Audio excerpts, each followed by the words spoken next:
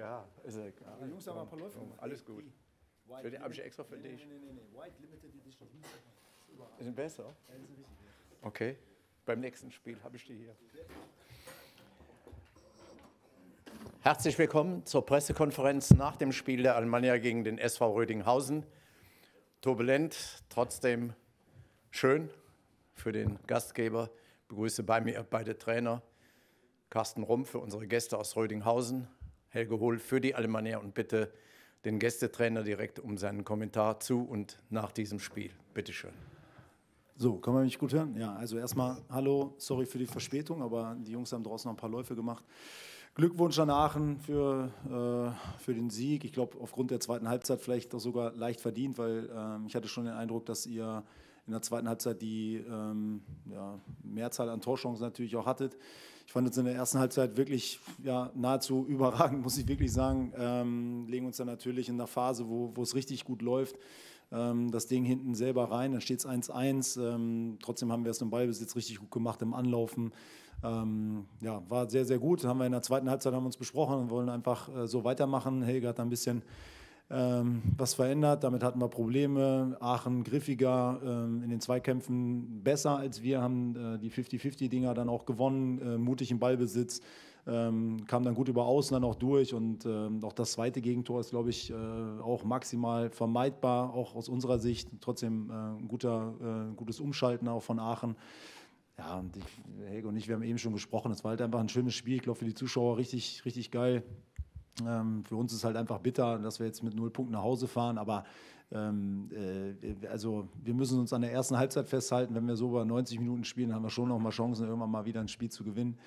Äh, von daher, äh, ja, ich drücke euch die Daumen. Ihr habt es natürlich jetzt super gemacht in den letzten Wochen. Ne? Seid jetzt auch verdient da oben dabei. Ähm, und ja, ich bin mal gespannt. In der, so in der, in der Liga ist es ja mega eng. Ähm, ist egal, ob du auf, auf Platz 3, 4 oder, oder 15 bist. Ist alles irgendwie nicht schlecht. Und von daher ähm, ja, gucken wir von Woche zu Woche. Euch ein schönes Wochenende und ähm, vielen Dank fürs Zuhören. Ja, vielen Dank. Helge Hohl, bitte. Ja, hallo auch von mir in die Runde. Erstmal, Carsten, vielen Dank für die netten Worte. Ähm, ich kann mich vielen Dingen nur anschließen. Ähm, erstmal eine Sache vorweg. Vielen, vielen Dank an alle Zuschauer. Wirklich überragend, was hier aktuell abgeht. 11.700 Zuschauer bei so einem Spiel. Wahnsinn. Und ich glaube, das hat uns auch gerade in der zweiten Halbzeit wieder getragen.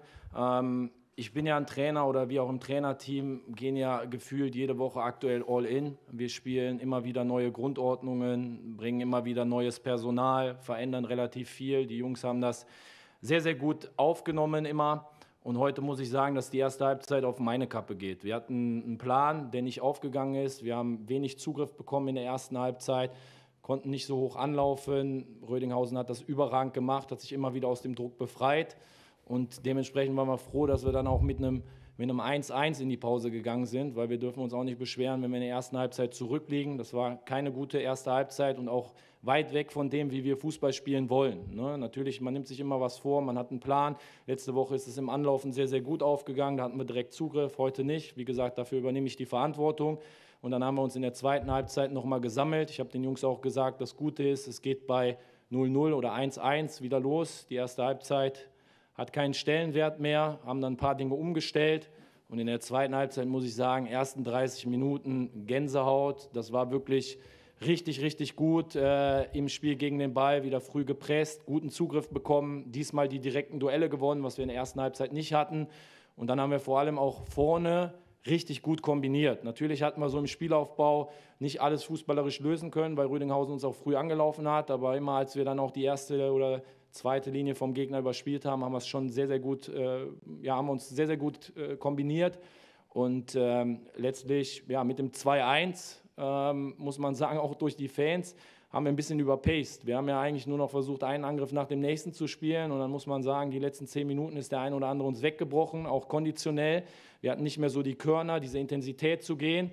Und in der Phase, auch wenn Rödinghausen jetzt nicht die Riesenchancen hatte, ähm, war das schon nochmal so eine enge Kiste und dann einfach Wahnsinn, dass Mause, der eigentlich klinisch tot war, äh, dann noch da das 3-1 macht. Äh, also wirklich überragend, was, was aktuell abgeht. Nichtsdestotrotz, ich bin jemand immer sehr, sehr vorsichtig. Ähm, wie gesagt, das Spiel hätte heute auch in eine andere Richtung gehen können, wenn in der ersten Halbzeit wir vielleicht mit einem Rückstand in die Pause gehen. Ähm, dementsprechend wissen wir, dass wir uns alles hart erarbeiten müssen und auch ja, an der einen oder anderen Stellschraube auch für die nächste Woche wieder drehen müssen. Ansonsten, Carsten, euch auch alles Gute. Ich kann das nur noch mal betonen, gerade erste Halbzeit mit das Beste, was ich dieses Jahr am Tivoli gesehen habe. Ich wünsche euch alles Gute und dass ihr auch weiterhin oben mit dabei bleibt und auch dir persönlich alles Gute. Dankeschön. Vielen Dank. Fragen an die Trainer. Christoph Pauli hat schon gewunken. Kriegt auch das Mikro, bitteschön. Dankeschön. Frage an Helge Hohl. Als, als Trainer wechselt man ja wahrscheinlich nicht gerne freiwillig einen Spieler schon nach einer halben Stunde aus.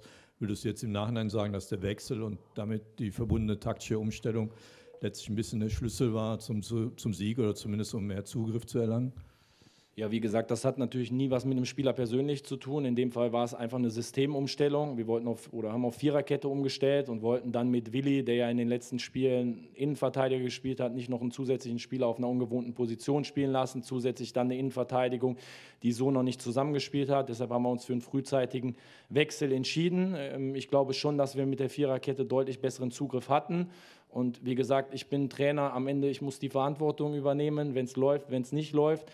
Und ähm, ich hatte einfach den Eindruck, dass wir keinen Zugriff hatten und dementsprechend war es auch für mich keine Option, jetzt bis zur Pause zu warten, weil äh, manchmal ist dann ein Spiel schon gelaufen und dementsprechend auch da volles Risiko, haben den Wechsel gemacht und klar, am Ende jetzt mit dem 3-1 ähm, ist es aufgegangen, kann natürlich auch mal in die Hose gehen und ähm, ja, aber ich bin, bin der Meinung, das hat funktioniert. Weitere Fragen? Das ist nicht der Fall. Dann sind ja alle zufrieden. Dann vielen Dank euch allen. Guten Heimweg unseren Gästen gute Heimreise, alles Gute für die Restsaison und wir sehen uns wieder am 19.11. hier am Tivoli Kahn Marienborn zu Gast. Tschüss, schönes Wochenende und vielen Dank. Ciao.